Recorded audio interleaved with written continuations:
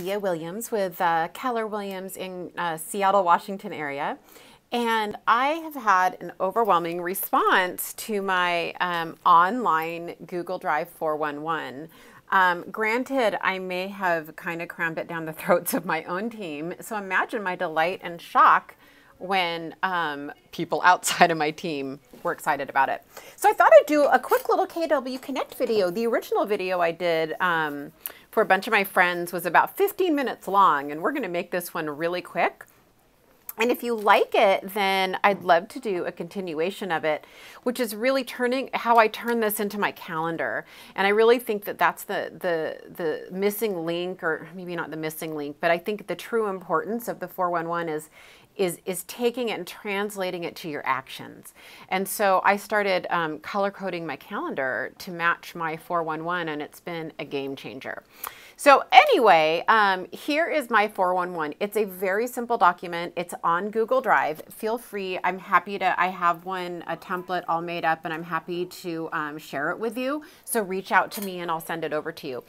As you can see below here, you can see all these tabs down here. Now, you know, I'm doing March. I'm starting with March a little randomly. Obviously, at the beginning of the year, January and February, January's first. And what I like to do is slide the current month. Let me just show you an example. When I'm done with March, I'll slide March back. Whoops.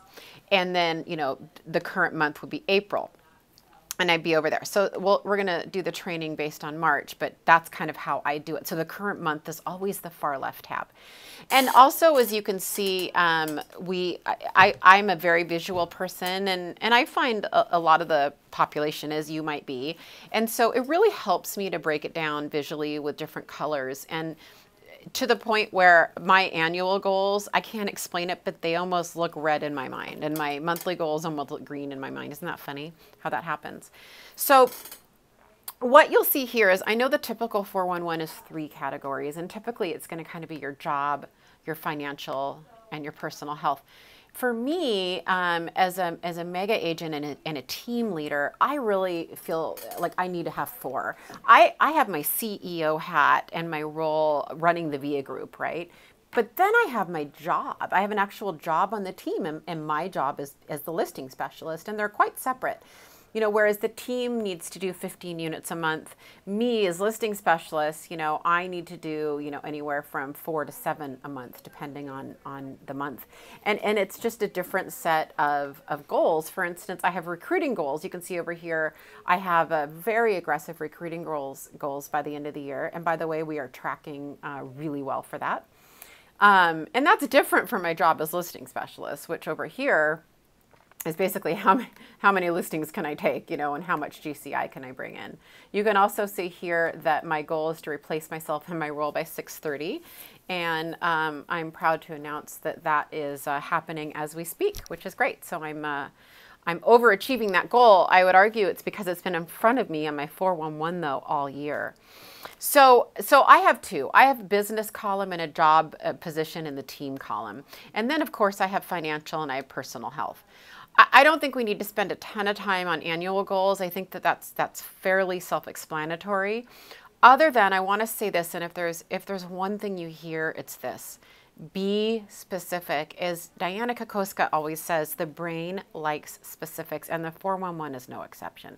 I can't stress enough that that look how specific this is. Exercise routine.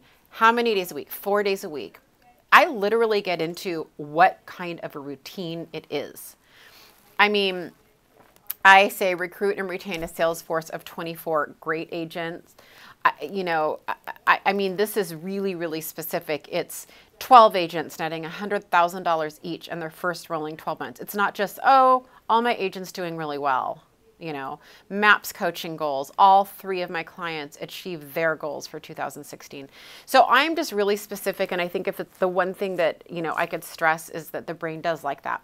You can see I have very specific numbers here, and on my weight and on my business reserves, and um, those are broken down and, and just super specific. And you really do start internalizing them when they're that specific.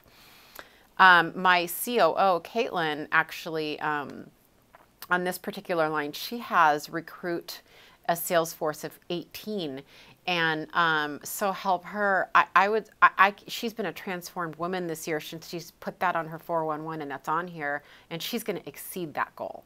So the more specific it can be, the better. And then of course we get to monthly goals. Again, I don't know that we need to go into you know much time on this other than um, very very specific. And then you know lastly you know the the weekly goals. Just kind of a few things I want to talk about is um, I really like being cumulative when at all possible. So if you see on this column, I for whatever reason I did a better job on this column, but um, my goal in March for listings taken was six. And so instead of saying, okay, you know, take 1.5 this week and then take 1.5 this week and take 1.5 this week, what I like to do is is again be cumulative and go, okay, you know, I need to have taken six by the end of the month.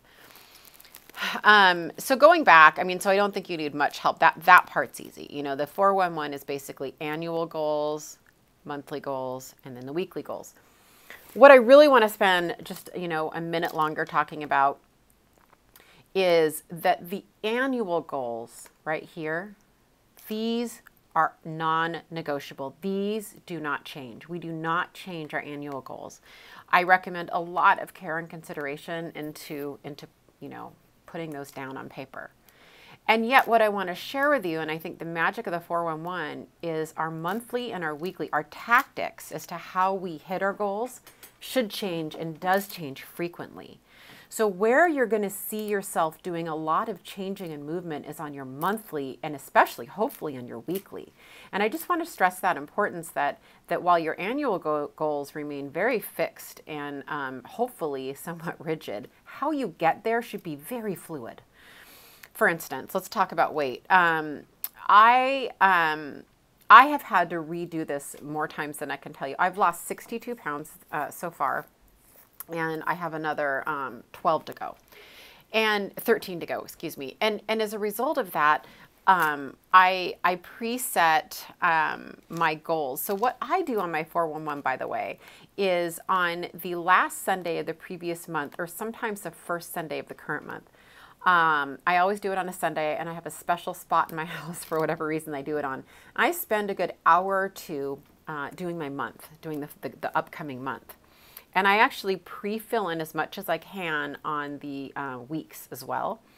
And then on a weekly basis, I would do what I call recalibrate. So let's talk about weight. So um, my original goal was I wanted to be at 135 by um, June 2nd and I'm not hitting that. So I've kind of had to go back. Now, does this change? Oh, well, I blacked it out. This actually, it's, I'll just tell you my weight. This says 135. But, um, you know, this has been recalibrated many times, my monthly and my weekly goals. Uh, I will get there. That's not negotiable. But what is sort of changeable is how I do it and how long it takes.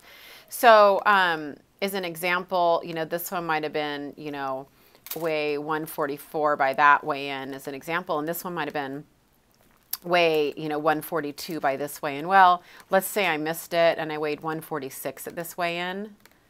So often you'll see me come back from my weigh in and I, I go to, I have a coach for that. And so I'll go to my weigh in and I'll, I'll just have to recalibrate it and change it. And, and it's a pain to do it and the fact that it's a pain to do it is almost part of the process and the journey. If it was easy, I don't know how good that would be. It's almost good that it's it's somewhat of a um, time suck to sit here and have to do it all. So I really like having these target goals like that. And then um, it, when I do follow up video, what I can show you is how I translate that not only onto my calendar, but onto alerts on my phone that remind me what my goal weight is throughout the week so that I'm constantly being reminded of that number, you know, throughout the week. And, and it's really been one of the ways I've been able to get to um, my huge weight loss over the last eight months. So I hope this helps. Um, the great thing about it being on Google Drive is that it, it, can be a shared live document.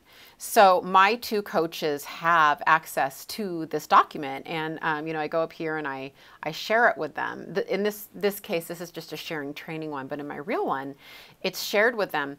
All of my maps clients they also have their 411s on a google drive and you know it's shared with me and every single member of my team does.